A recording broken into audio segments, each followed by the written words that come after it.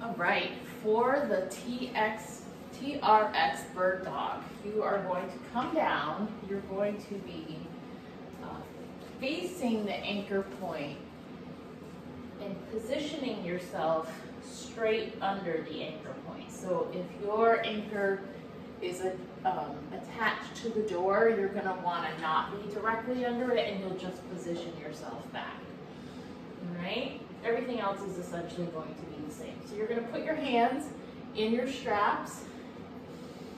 You're gonna pull your stomach in, nice neutral spine, and then lift and lengthen arm and opposite leg. So this is really gonna require some extra stability compared to the way we would do it with our hands on the floor.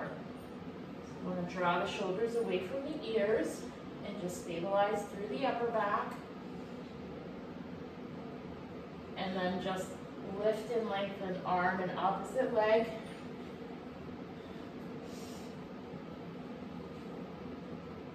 For all the reps, just take your time. Muscle memory will work in your favor um, after that first set.